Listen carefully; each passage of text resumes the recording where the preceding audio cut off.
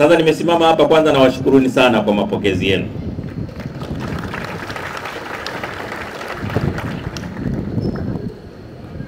Na hii ndio inakuwa shughuli yangu ya kwanza rasmi kwenye ofisi ya chama kwa kupokelewa na wana CCM wa Zanzibar. Nawashukuruni sana sana sana. Lakini pili, na- nawashukuru kwa amsha amsha ya kutembea eh, inafanya watu wajua kwamba kwenye CCM kuna shughuli leo, sio eh? Kwa hiyo nawashukuru sana. La pili, nitumie nafasi hii kuwapa salamu za kutoka kwa mwenyekiti wetu wa Chama cha Mapinduzi, rais wetu Samia Suluhu Hassan. Anawasalimu na anawapenda sana. Amefanya ziara ya kichama ya mikoa miwili kamaliza hivi jana, na wote mme- mmeona amefanya kazi za chama na, na inatia moyo sana. Ratiba ya rais ni ngumu sana, anapotenga muda wake kufanya ziara rasmi kwa kazi za chama, mnajua huyu ni mwana CCM kweli kweli.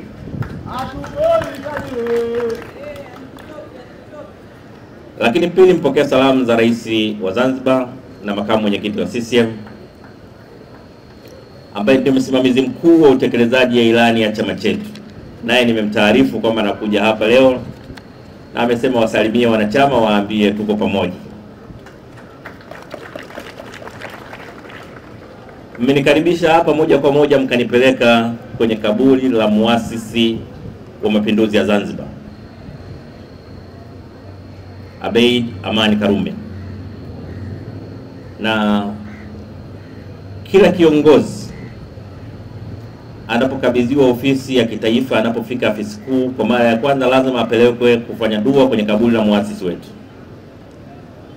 Na walioweka utaratibu huu hawakumaanisha uishie kufanya dua, walimaanisha kutukumbusha kwamba chama hiki ni cha kimapinduzi.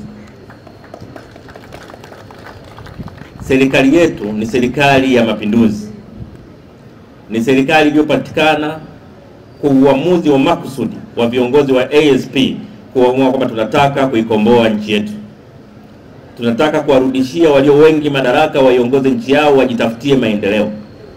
Tunaenda pale kukumbushwa kwamba dhamira ya kuendelea na mapinduzi lazima iendelee kuwepo, na ndio maana katika wimbo tumemaliza sasa hivi tunaimba hivi kwa ulaini, lakini ndani ya wimbo tunaapa kwamba tuko tayari kujitoa muhanga kuyalinda mapinduzi. Na ukiacha kujitoa muhanga, siku moja utaulizwa, baba, uliapa mbele ya watu, kumbe ulikuwa hujui maneno unayoyaimba. Kumbe umeimba kwa hapa wakati unaimba tu kama kasuku, sio? Kwa lazima ukiwa uki, ukihisi kwamba mapinduzi hayakufurahishi, unatakiwa unyamaze kimya, wala usiimbe kimoyo moyo. Sasa tatizo, wimbo mwenyewe mzuri, unajikuta tu umeimba, umeapa tayari. Kwa hiyo nasema tumeapa kuyalinda mapinduzi, tusi, tusiwe na kibugumizi Katika kipindi ambacho mimi nitakuwa katibu mkuu wa CCM, nataka niwahakikishieni kwamba Chama cha Mapinduzi chini ya mwenyekiti wake Samia Suluhu Hassan kitaimarisha usimamizi wa serikali zake kuhakikisha kwamba serikali zinatimiza wajibu wake wa kutekeleza ilani za CCM, ilani ya CCM, lakini vile vile kuwatumikia wananchi kwa uadilifu mkubwa. Kazi anayofanya Rais wa Jamhuri ya Muungano wa Tanzania na Rais wa Zanzibar ni kubwa, inahitaji tu wana CCM kupitia chama chao kuimarisha usimamizi wa serikali hizi, na wahakikishieni tutazisimamia serikali chini ya mwenyekiti wa chama chetu.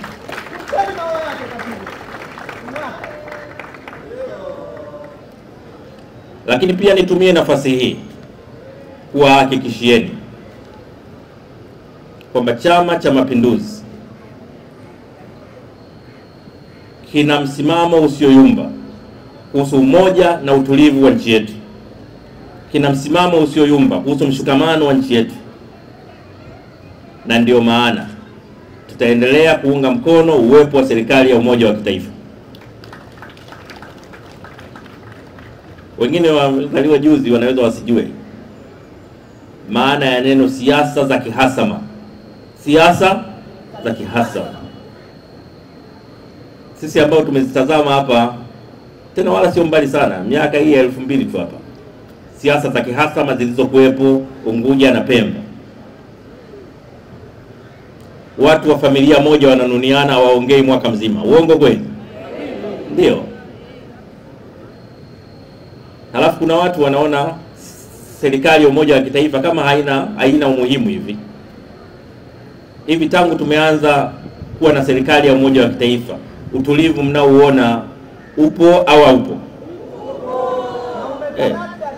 Kwa hiyo nataka niwaambieni, mtu yoyote ambaye mnasikia anaona kwake yeye serikali za umoja wa kitaifa hazina umuhimu wowote, hajali maisha ya Watanzania, hajali maisha hajali maisha ya Wazanzibari. Wewe ukiona mtu ana hamuhamu hivi ya kuona serikali ya umoja wa kitaifa imevunjika, ujue ana muda wote anapotembea pua zake zinatamani damu za watu, anatamani kunusa nini? Damu za watu. Kwa lazima tuungane, tushirikiane. Wana CCM wote, msimamo wetu usiumbe kwamba tunaunga mkono serikali ya umoja wa kitaifa, lakini vile vile tunawapa shime wenzetu wa ACT kwamba wajue kwamba nao wana wajibu wa kuunga mkono serikali ya umoja wa kitaifa, na kama kuna mambo madogo madogo tuzungumze. Ndio maana ya maendeleo, ndio maana ya ushirikiano, na lazima tujue wote ni Wazanzibari, wote ni Watanzania. Swala la kupendana Wazanzibari, swala la kupendana Watanzania ni swala la wajibu wa kiraia, ni swala la wajibu wa kiraia. Kwa hiyo tu, tuwe, tu, tunaposema tunataka serikali ya umoja iendelee kuwepo tuyaseme hayo kwa dhati, huku tukijua kwamba tunataka kuendelea kushirikiana na ndugu zetu wote, na tuyatekeleze tukiwa na imani ya dhati kwamba tunafanya hivi kwa nia njema na ni sehemu ya kuenzi mapinduzi. Waasisi wa mapinduzi hawakukusudia kwamba tuje tuwe na nchi iliyojaa uhasama, tuwe, tuje tuwe na nchi iliyojaa chuki, tuje kuwa na nchi isiyo na umoja. Haya hayakuwa matarajio ya waasisi wa nchi yetu, hayakuwa matarajio ya waasisi wa chama chetu, hayakuwa matarajio ya waasisi wa mapinduzi. Kwa lazima wote tushirikiane, tuziunge mkono serikali zetu kwa kila inavyowezekana. Na nimekutana na makamu wa raia, makamu wa nimekutana na makamu wa mwenyekiti wa chama chetu Zanzibar na rais wetu Hussein Ali Mwinyi. Nimemuuliza una, unafikiri nini kuhusu serikali ya umoja wa kitaifa? Kaniambia ni muhimu sana kwa Zanzibar na Tanzania. Nikasema alhamdulillah. Alham eh, kwa sababu sasa wewe ndio kiongozi mkuu wa chama upande wa Zanzibar, mimi mtendaji mkuu wa chama nchi nzima.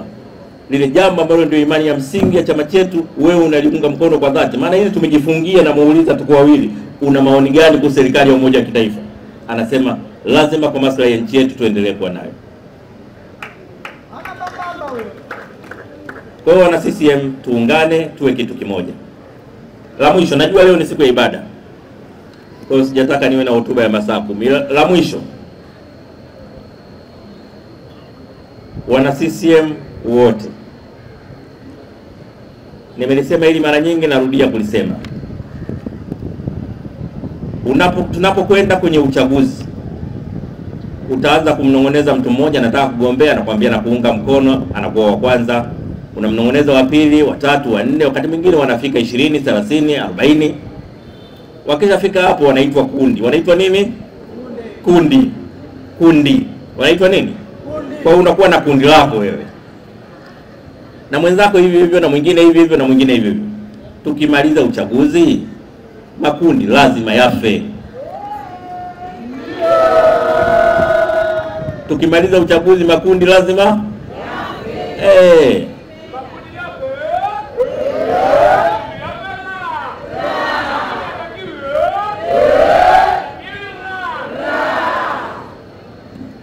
Unapotaka kupika ndio unawasha moto, Ukisha pakua unauzima moto wako. Uongo kweli? Eh, ni mjinga peke yake anaendelea kukoleza moto wakati kashapakua. Ni mjinga peke yake anaendelea kukoleza moto wakati kasha eh, utakuishia kufa na joto. Kwa hiyo nasema na wasii wana CCM, habari za uchaguzi lazima ziishe wote walioshinda lazima wawe wanyenyekevu, na walioshindwa lazima wajue kwamba kushinda au kushindwa kuko katika uh, mapenzi ya Mwenyezi Mungu. Utashinda, utashindwa leo, utashinda kesho. Mimi nimegombea nadhani mara ishirini na saba nimeshindwa mara sita, wala haikuwa shida. Wewe msimeamua kuwa mwanasiasa, kushindwa nayo raha eh, kushindwa nayo eh.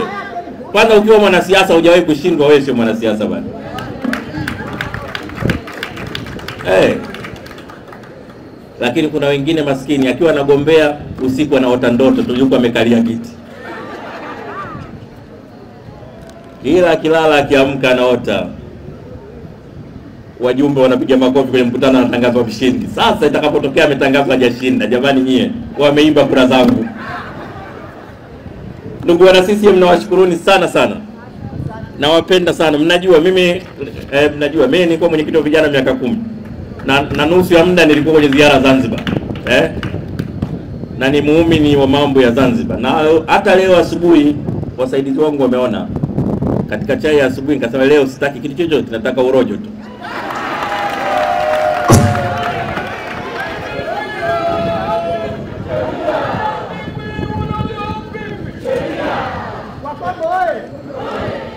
CCM oye! Ndugu viongozi, makamu wa pili, spika, naibu katibu mkuu na viongozi wote mliokuja, wajumbe wa kamati kuu, mawaziri, wabunge, wawakilishi, viongozi wa serikali na wana CCM, narudia tu kuwahakikishia kwamba tutafanya kazi pamoja.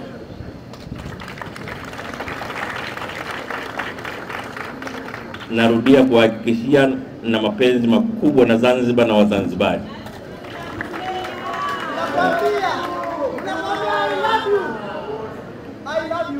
Na mimi binafsi na, na, na madeni makubwa ya malezi ya viongozi kutoka Zanzibar.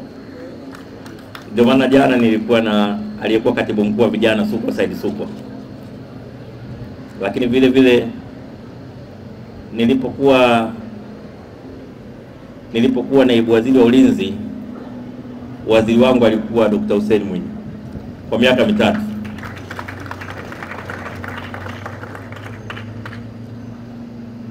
Na kwa hiyo kwa hiyo katika kuandaliwa andaliwa hivi kuwa kiongozi katika safari hii ya maandalizi, Zanzibar ina mchango wa kipekee. Kwa hiyo mkiniona la kuja mara kwa mara Zanzibar mtu asio kaanza kusema jamaa anafuata nini eh? Eh, mimi tena sipendaki sana kukaa mjini siku hizi, nitakuwa mimi napenda kujificha shamba. Kwa hiyo mkinionaona mnivumilie eh, hapa kwetu eh. Eh, jamani, nawashukuruni sana, nawashukuru sana sana, nawapenda. Kidumu Chama cha Mapinduzi!